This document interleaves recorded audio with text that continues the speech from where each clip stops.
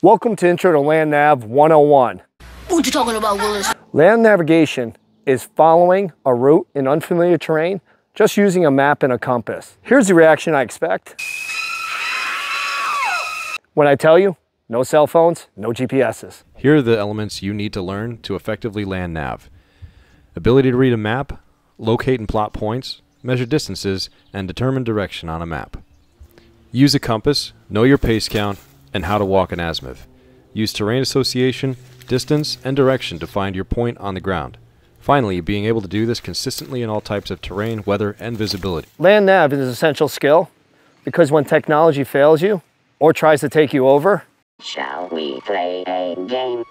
You can just say no if you know land nav. Land nav is probably one of the most overlooked survival skills in my opinion because if you don't know how to find your way to and from your destination, you could end up in a world of crap pretty quick. Thanks for watching.